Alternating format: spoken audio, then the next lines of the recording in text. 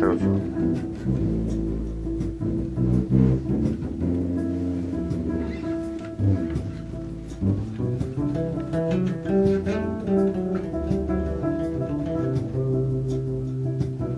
Сегодня я хочу вам рассказать про своего друга, Корябыч. На самом деле его зовут Серега. Серега Зворыгин.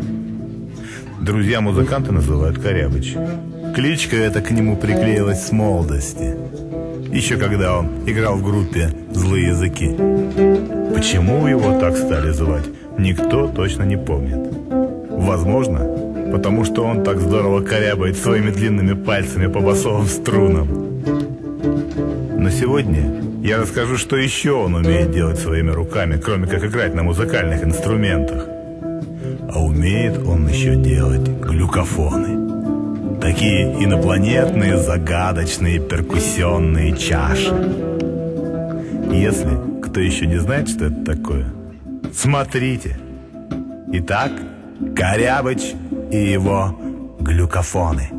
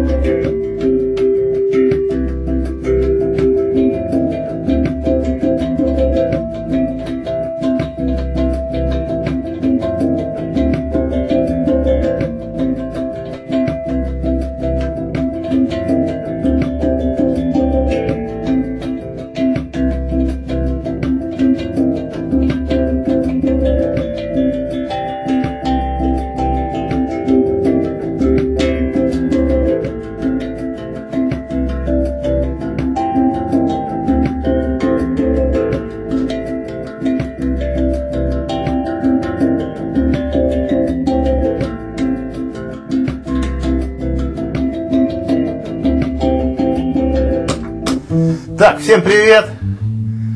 Сегодня на балконе мы с Сереженькой поговорим немножко о таких интересных вещах, о таких интересных инструментах, как глюкофоны. Да? Сережа, Да, скажи, кто первый изобрел глюкофон? Ой, американец какой-то. Ну, там Фели Вега его звали, по-моему, да? Да нет, это И может, Денис Хавленович. это может быть ты про Хан говоришь. А, Я говорю про то, что сначала сделали баллон, А, а, вот, э, ты помнишь, ты мне ко мне а, как-то на дачу приехал и притаранил баллон? Ну, мы с тобой вместе притаранили. Ну да, это и он не- до сих пор там стоит. Ну, это не тот баллон был, да. Вот. А вот как раз у этого, у Фели Вега, он, у Фели Вега, он был такой. Вообще там была запутанная история. Он был вот такой, то есть вот здесь вот не было ничего. А, Маленький. ну, как бы на самом баллоне вот здесь вот вырезано было. И он на нем играл. Я даже видео видел. Можно потом вставить. Вообще глюкофоны типа это... э, есть такой инструмент ханк Ну. молодой. Ханк молодой.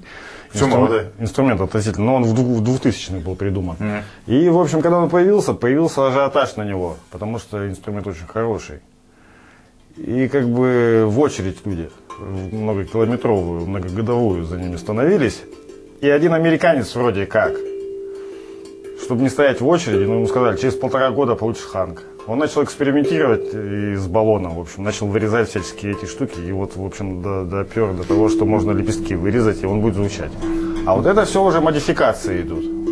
Ну, я ск- насколько понял, что а, сначала лепестки вот здесь вот вырезались на торце баллона, а потом вот перенесли, ну, если не торце, а на самом баллоне, а потом перенесли на торец. Этого я тебе не могу сказать. Ну, понятно, ясно. А, а, скажи мне, почему а, именно глюкофон? Кстати, ты знаешь, почему, да, глюкофон называется? Ну, подумай, почему? Ну, может, как-то людей глючит. Все говорят, да, Глючит. глючит, глючит, да. Это вообще глюк, это же а, по-немецки счастье. А, слушай, я читал эту штуку, да. На немецком это счастье, и типа вот, вот как, как бы это вот все метаморфизировалось. Да, и его же еще по-разному там называют, всяко разно. И при том, что даже как-то танк э, называют какой-то танк, что-то Ну, там. это вариации. Знаю, потому что танк это типа как баллон, что-то такое. Вариаций, вариаций много. Ясно. Хэн, драм, там. Ну, то есть он же, он же настро- настраивается, да? Он, он, у него настройка в каких вообще тональностях? Он в двух тональностях, в трех или в? Я вот вообще слышал, что вообще в любых можно. Ну, нет, у него есть пределы по, по нижним и по верхним нотам. А, ну в смысле диапазона предела есть, да? Ну, А, Типа два окта- две октавы у него. а, две октавы. А в смысле, Ну, вот можно ты, там еще третью за- ты когда говорил, что он в ми бывает, в ре бывает, да, у тебя, Ну, ты во- делаешь? Во всяких бывает. Ну ты в каких делаешь? В основном только в ля. Бля? В основном только в ля. Почему? Почему? Ну, не знаю, нравится он мне. Ну, а скажи, почему вот, а, кстати, почему именно глюкофон ты решил? Как, как тебе вообще пришла такая голову? То есть ты, ты стоял тоже в очередь за ним и решил сам сделать?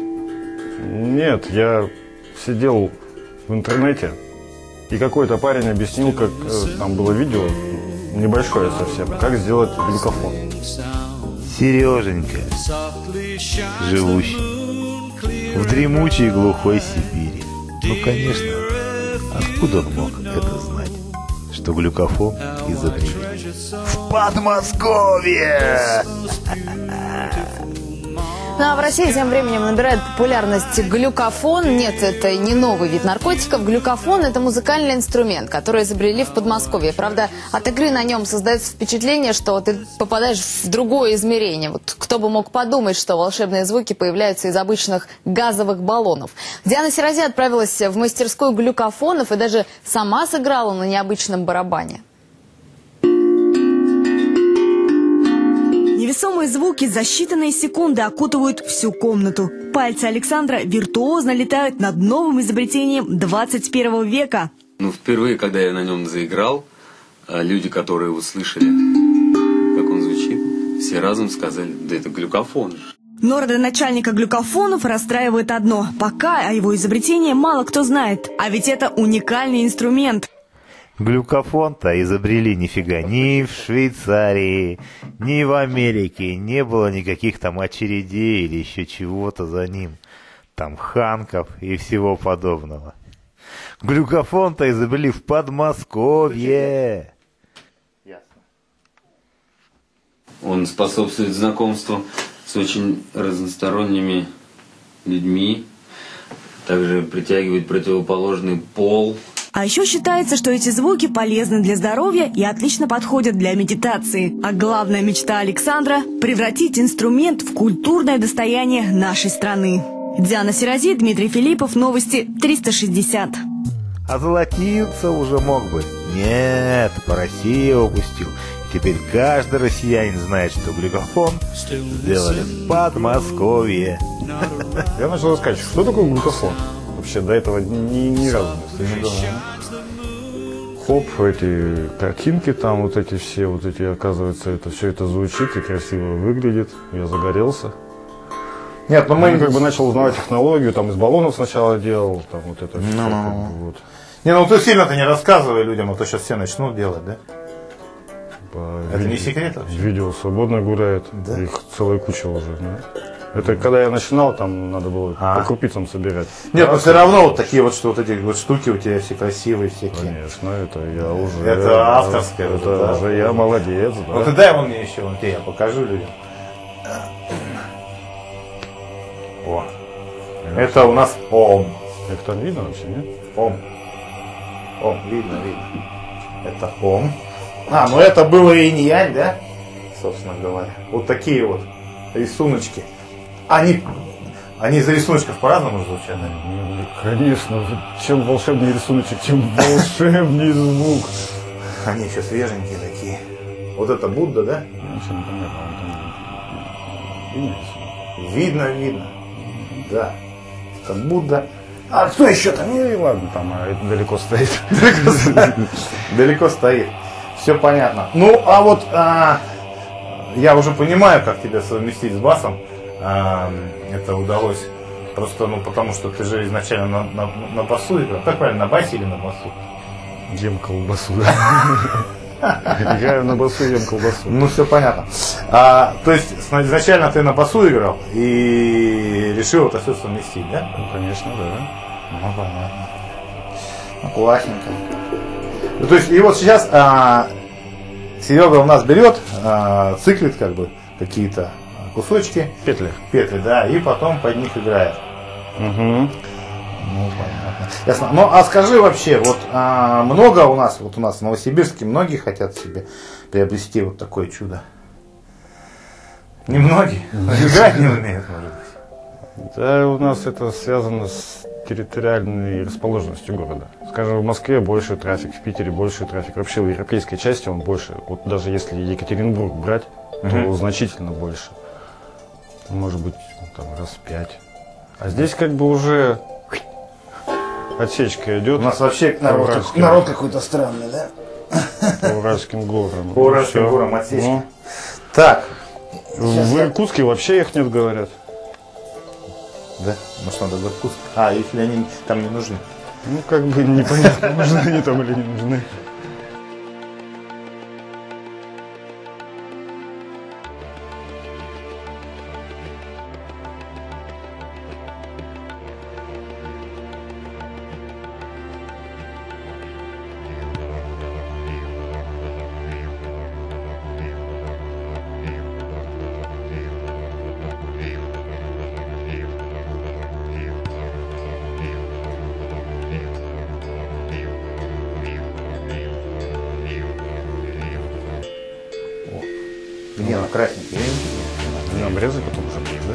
Конечно. А. Серега, ну, А, вот, с этого слова. Серега! Серега. Начинается типа тик-тик, да? Сереж, ну я хочу, чтобы ты показал, как это все звучит на самом деле. А я с тобой немножко поджемлю тут, да? То, то тут стукну, то тут звякну. Давай. Хорошо? Даю.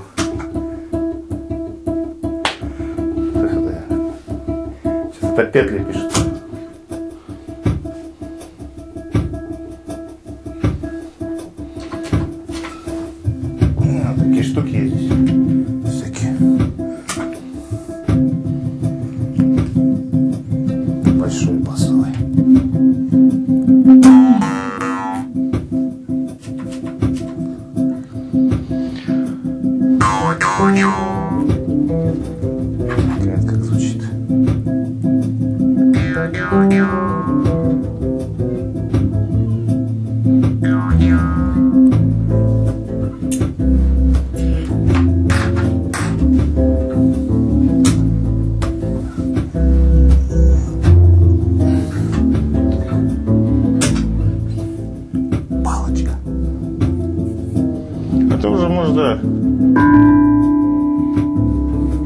Ты петли все свои записал? Ну покажи мастер-класс. нам. Давай я подержу. Выключи только.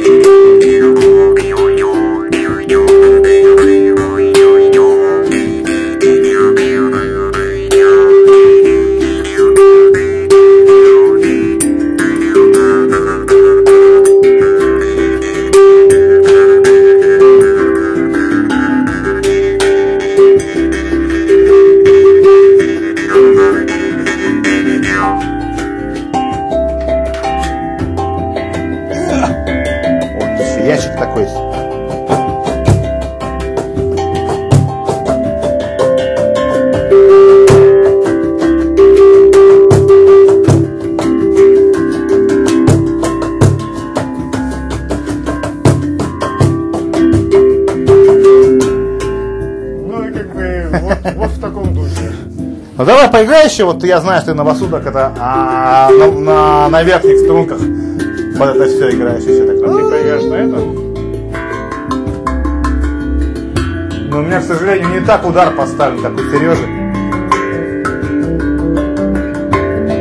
Надо практиковать больше.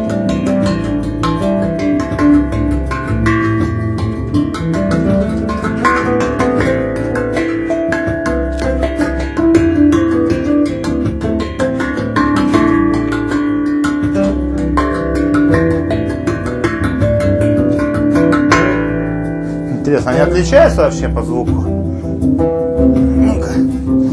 Твой-то лучше, наверное. Это все мои. Я имею на который- Нет, все, теперь это мои, на которых я играл. Ну, конечно, он у тебя лучше был. Поэтому и звучит лучше. Палочку возьми. Конечно, конечно, нет.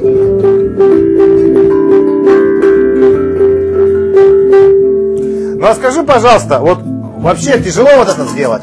Тяжело вот это сделать? Ты же сам это все делаешь. Тяжело это сделать? Конечно. Он за золотой? Конечно. Ну, просто, ну, Естественно. ну, тяжело вообще. Естественно, тяжело. Тяжело. Ну, а... Ну, см- смотря как умеешь варить, как обрабатывать металл умеешь. Как Ну вот на 18 год, на, на ноябрь 18 года сколько вот это стоит? Ну, примерно, ну, не, ну, примерно, ценовая категория. Это 10 тысяч. 10 тысяч, да? Ну, ясно.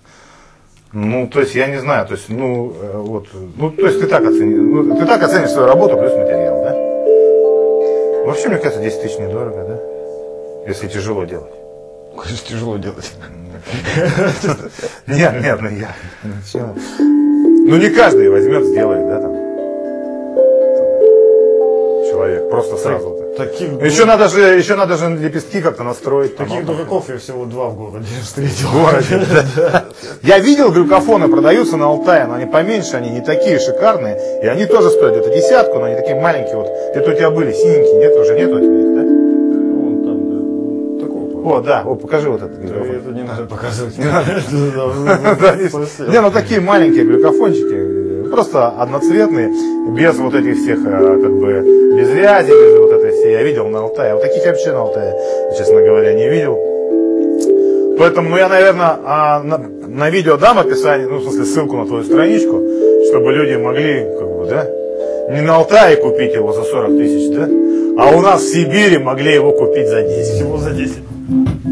О, какая бодяга. О, елки. Она даже не влезет.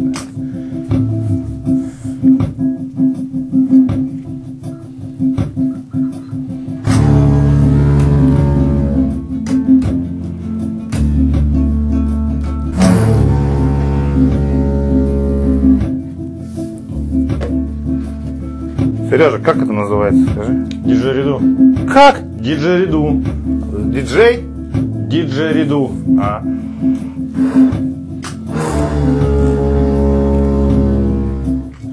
А вот это как называется? Тоже диджериду. Тоже диджериду? Только деревянная, да?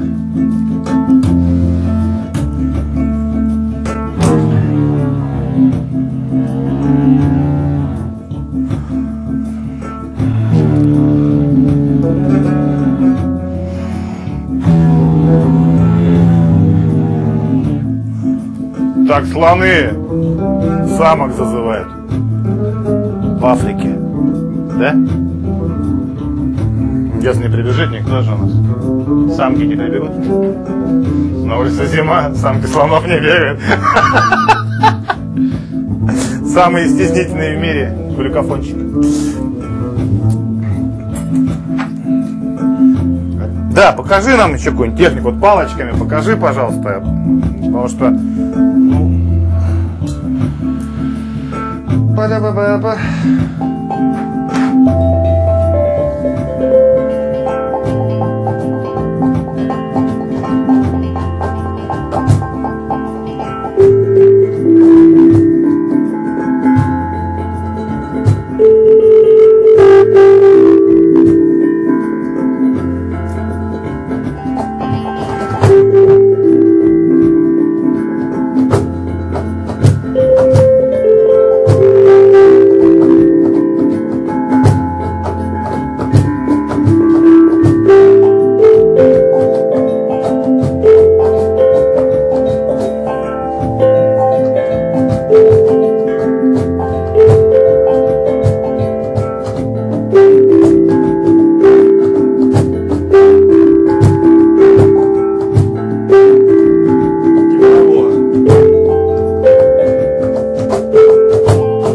Этот ящик называется? В нем же струна какая-то, да?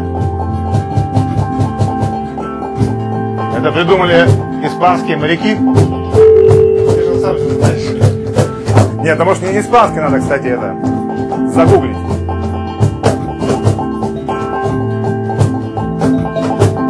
Ну, короче, ребята, вот здесь он пониже звучит, а здесь повыше.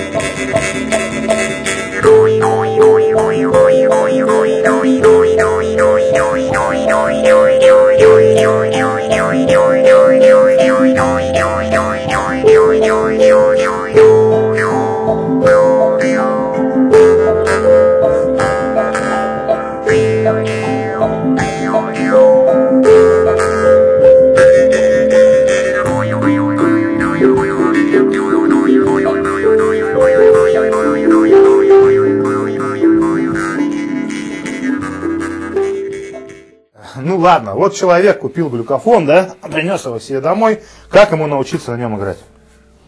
Зайти в мою группу и посмотреть, как на нем научиться играть. Ссылка на группу ниже видео. Ниже, вот так. Там небольшие видеоуроки есть, как, вы- как извлекать звук. Да? Потому что вот у тебя как-то руки раз, да, поставлены, мне прям надо, приходится хлобыстать. чтобы- Конечно, это надо потренироваться просто.